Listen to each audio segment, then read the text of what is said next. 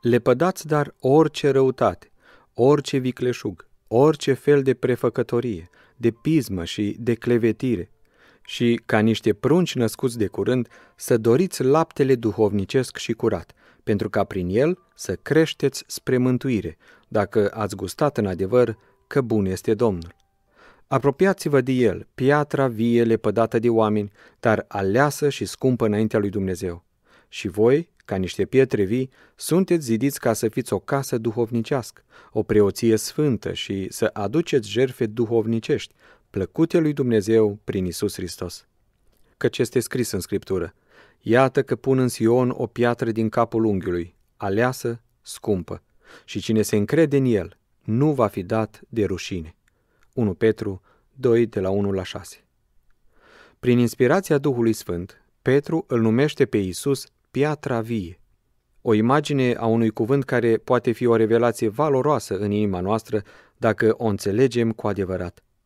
Hristos este o piatră, fermă și imobilă, neschimbată în toate căile sale. Iar Petru subliniază că este o piatră vie, un duh dătător de viață, care ne iubește în mod absolut cu pasiune pe fiecare dintre noi. În cultura de astăzi, oamenii resping această piatră și nici măcar nu o sesizează. Temelia pe care își construiesc viața constă în propriile lor dorințe, propriile vise și aspirații. Ei aleg unde pun această temelie, dar Isus ne cere să-L urmăm și să-i supunem Lui toate planurile noastre. El te-a ales, te-a săpat în stânca sa și te-a chemat în această casă spirituală pe care Dumnezeu o zidește. Ești chemat să faci parte dintr-un singur trup, să ne iubim unul pe celălalt în profunzime și de aceea Petru începe acest capitol spunând Lepădați dar orice răutate, orice vicleșug, orice fel de prefăcătorie, de pismă și de clevetire.